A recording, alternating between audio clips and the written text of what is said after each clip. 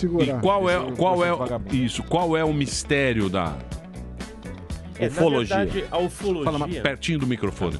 Na verdade, a ufologia, ela é uma paraciência, ela não é uma ciência atualmente. A gente depende de outras ciências para compreender esse estudo, né?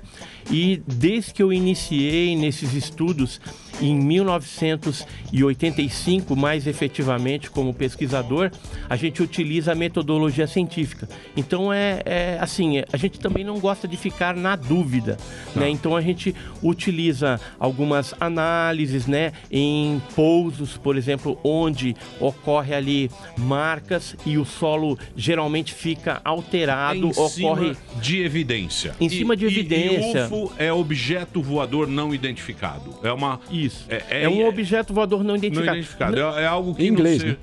É algo que É, não o- seja. UFO, UFO é em inglês. É, é- é algo que não seja um drone, um avião, uma coisa que a gente tenha conhecimento, é baseado nisso a ufologia. Exatamente. E então essa- esse estudo da ufologia ele já vem aí há 70 e poucos anos, 74, vai fazer em junho, agora dia 24 de junho. E esse estudo ele é, traz para nós poucas respostas ainda. Tem muita coisa louca, né, no meio aí, misticismo, esoterismo, que eu também não coaduno com esse tipo de pensamento. Eu gosto do preto no branco, de mostrar a verdade, somente a verdade desse assunto. Então, por isso que eu vou atrás do que é a moda agora na ufologia, que é os metamateriais, né? Que seriam fragmentos é, de objetos voadores não identificados, naves, alguma coisa diferente que através de uma análise científica em um laboratório credenciado a gente teria aí algum metal, alguma coisa diferente. Por exemplo, é, eu tenho em minhas mãos. O que? Uma liga? Porque tudo. É, tipo, não tá na tabela periódica. Ó, essa foto que está aparecendo aí são fragmentos que eu recebi de um filho de um militar do Exército é, e diz respeito a um caso que aconteceu em setembro de 1957 na Praia das Toninhas em Ubatuba.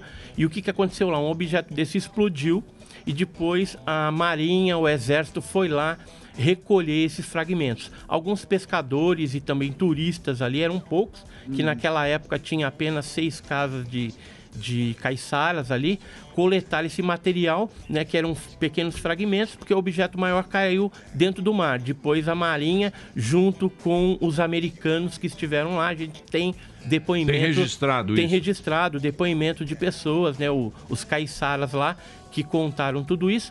E esse material, é, a princípio, ele foi entregue para o Ibrahim Suede, que era um colunista do jornal O Globo na época, um Grande jornal Ibrahim carioca. E o Ibrahim Suede depois cedeu parte desse material pro doutor Olavo Fontes, que era um ufólogo pioneiro cari- carioca, né, um médico. E ele trocou esse material com a APRO, que é uma entidade norte-americana. E alguns fragmentos ele levou para o Ministério de Agricultura para analisar. O que, que deu nisso? É, na época, a tecnologista química lá, que era a Luísa, Maria Luísa, ela é, chegou à conclusão que era uma liga de magnésio 99,9% pura. Ou seja, por uma vila de pescadores, Praia das Toninhas, naquela época, você não tinha nenhuma metalurgia ali, era difícil é, você ter esse tipo de, de, de metal, de vestígio com é, esse grau de pureza. E aí, é, outras análises foram realizadas posteriormente na NASA, na Caltech, em algumas universidades da França. E até hoje, esse material ele é, é- é- tem um interesse tanto é, de cientistas, né, como também dos militares. E aí eu te falo isso por quê? Porque o Jacques Vallée, que é um físico francês e que também trabalha como consultor da NASA e também do Bigelow Aerospace, né, do Bob Bigelow, Robert Bigelow, né, que é bilionário lá e mexe com esse tipo de coisa.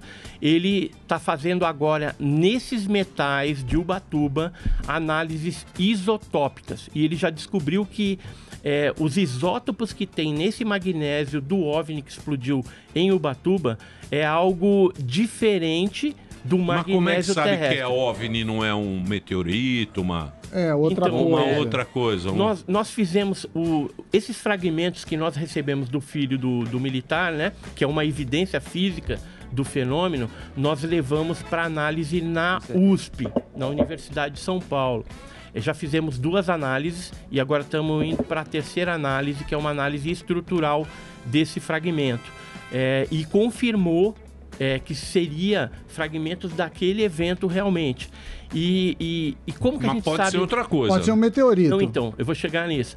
E aí, como que a gente descobriu que não é meteorito? Nós consultamos a Maria Zucoloto, que é do, da, a- a lá do Museu Nacional do Rio de Janeiro, que cuida dessa parte de meteorítica, e também consultamos o Paulo Anselmo Mattioli, que é um especialista em meteorito lá do litoral. Eles expediram um laudo, analisaram é, a parte física e química do, desse metal, e eles falaram, olha, meteorito a gente tem É por certeza exclusão, que então. não é, por É por- exclusão. então eles vão fazer por exclusão. Mas uma coisa que Mas- chama muita atenção. Sabe por quê? Só é, complementando isso.